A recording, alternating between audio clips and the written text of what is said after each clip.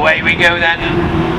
Absolutely flies out of the gate then. Sam Gould in North, uh, North Shropshire 344. Absolute flying machine out of the gate. Very, very wide then. We can't see a thing.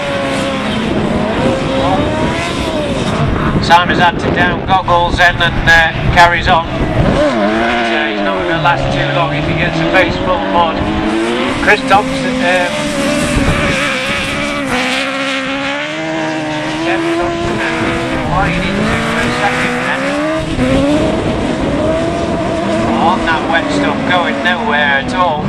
Simon's having a nightmare in uh, Nottingham 8 then right at the back now. Sam Gould storming away into the lead. Nobody even near him.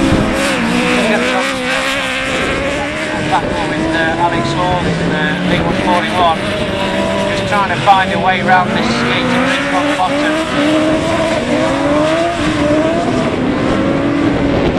I'm not sure it's quite working right for him though on that bottom there. The outside line is the way to go if you watch Sam Gould and he's obviously uh, bad up in the. Uh, that North Shropshire 344, fantastically quick car there. To watch out for that Sam Gould. So last lap this time for Leewood 41, Alex Hall, Kev Thompson, Nottingham 88. Sacked. Sam Gould then taking a cracking win there in North Shropshire 344.